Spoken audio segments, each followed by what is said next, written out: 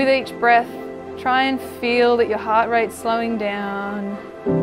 You're finding yourself more in the room, nice and calm.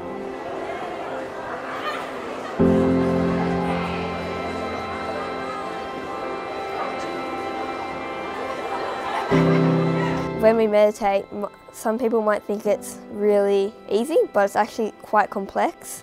At school, right, if I, when we have the meditational class, or like in the morning if I meditate, it helps me concentrate throughout the day. And if I get stressed out, then I just close my eyes and think about meditation and I'll, and I'll get back to um, work if I'm distracted.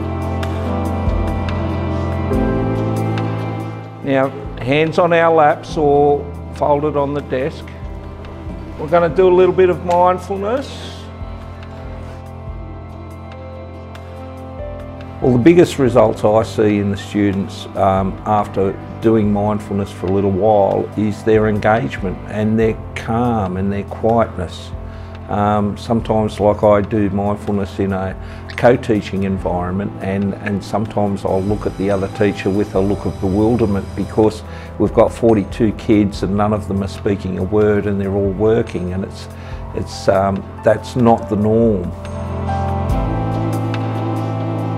So the journey really was working with the staff, um, uh, bringing about their realisation around what mindfulness could do.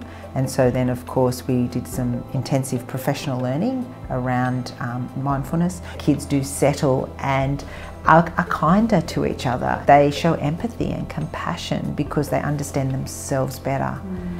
And I think that's one of the really um, strong aspects of mindfulness. I think they're able to be engaged for longer, there's greater focus. If you can focus longer, then therefore you're going to academically improve.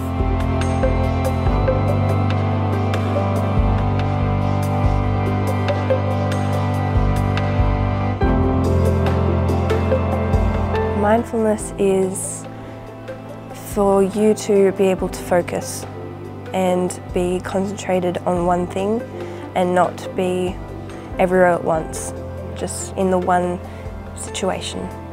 It works at home for me definitely. I just go into my bedroom, sit on my bed and meditate. I tend to get very anxious when I before I perform. So before I go on stage, I just breathe.